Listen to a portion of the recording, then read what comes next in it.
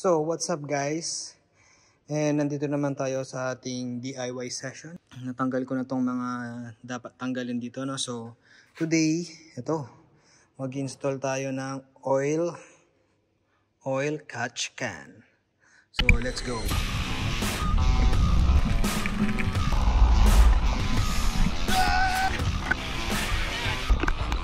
So, okay guys. So, ito yung, uh, basically, ito yung binili kong oil catch can from uh, Amazon.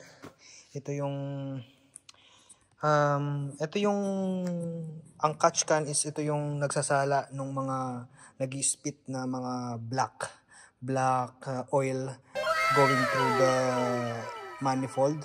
So, yun yung, it, ang purpose nito is sasalain niya or i-dump niya muna dito yung oil and yung air is pupunta dito at ibabalik niya dun sa intake manifold. So, malinis ang ibabalik na air. So, wala nang halong oil yan at ilal mapupunta dito.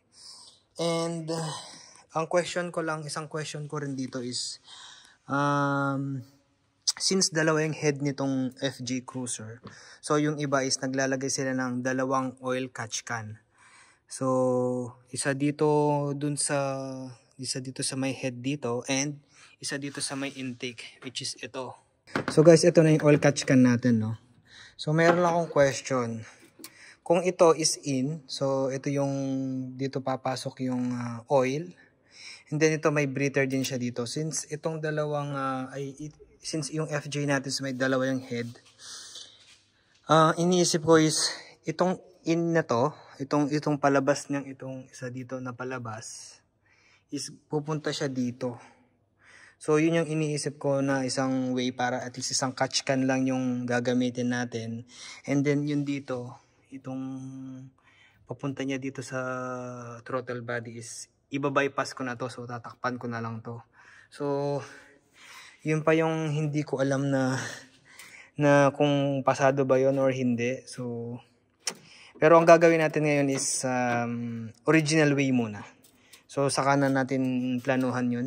And bibigyan ko kayo ng update after 1 month or 2 months. Tignan natin kung malalagyan ba to ng oil dahil syempre itong uh, FJ natin is um, uh, newer model pa rin siya. I mean, hindi pa, rin, hindi pa naman siya katagalan talaga. And of course, di ko naman siya dinadaily driven pag nag-off-road uh, lang ako and then pag nagka-camping or lumalabas kami ng family ko, dun ko lang siya ginagamit, no? Ang lalagyan natin ng oil catch can is yung sa may driver side which is yun naman yung laging sinasabi nila na dapat lagyan. Ang, ang mangyayari dito is meron siyang meron meron din tong kasama na ito uh, pantakip and meron din siyang isa yung parang breather pero hindi ko ilalagay yon para ito yung ilalagay natin itong takip niya dito. So, tara guys, install natin. Uh, at ito, ito na rin pala yung mga fittings ko, yung mga hose. So, meron akong old hose. Ito, ito, galing kay, galing sa tropa, kay Jan. And then, itong isa is uh, yung original niya na, itong original niya na isang hose is uh, minodify ko lang siya. So, ito yung gagawin kong out. Papunta dun sa, ito, papu catch can out going to manifold. Then, ito rin pala yung, ano, may, yung oil catch cans, hindi ko na siya in, in-unbox, no? Kasi, nagmamadali na ako. So, meron pa tayong isang hose dito. And, meron siyang kasamang hose, which is, hindi ko siya rin-recommend na gamitin dahil malambot siya. Baka, matupok lang to ng, ano, ng init ng sasakyan. Ano pa ba? Ayan, may fittings din siya dito. May mga O-rings. O-rings at saka may teflon. Hindi ko na lalagyan ng teflon. O-rings lang ilalagay natin rubber o-rings lang. And may manifold tayo. Installan na natin. So guys ito pala yung ano. So ayun. Na inano ko na. So dyan lumalabas yung black oil. Yung pag sobrang pressure siguro or sobrang compression. Naglalabas siya dyan ng hangin and oil. Dirty oil. Dirty oil. Ayan. and then papasok siya ulit dito. So yun talaga yung um, use ng oil catch can natin So, let's go guys. Let's, let's install. So guys, gumawa na rin pa na, pala ako ng ito, pansamantagal bracket. Paborito natin gamitin. So okay guys, ito, nalagay na natin yung lahat ng mga fittings natin, yung hose, clamps. So, i-connect na lang natin yan ngayon dito sa ating in and out sa ating engine. So, let's go.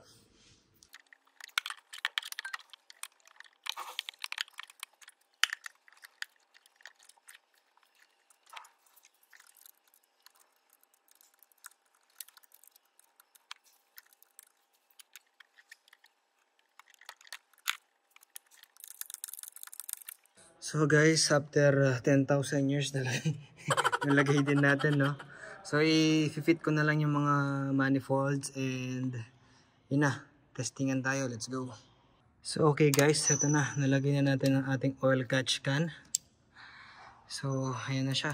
Update na lang guys after 1 month or 2 months. So titignan natin kung magkakalaman tong catch can natin kung uh, talagang mabisa ba ang natin nilagay. So So okay guys, um, so after one week, so naglaro ako, nagwalwal tayo. At uh, tignan natin guys kung meron ng laman yung oil catch can natin, no. Try nating tanggalin, kalasin para makita natin sa loob guys kung meron nga siya or kung talagang effective ba yung oil catch can or pang forma-forma lang siya or pang pogi points lang siya. So, let's go guys, subukan natin, tanggalin.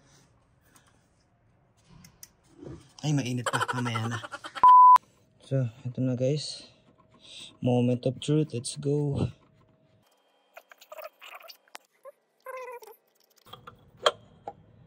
Oops, yeah.